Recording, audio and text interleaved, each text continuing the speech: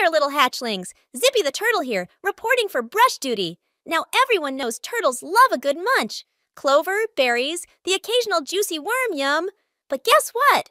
All that yummy eating leaves a mess behind, just like after a birthday cake fight.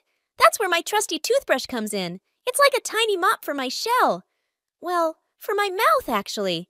Brushing swishes away all the leftover bits of food that might tickle my taste buds.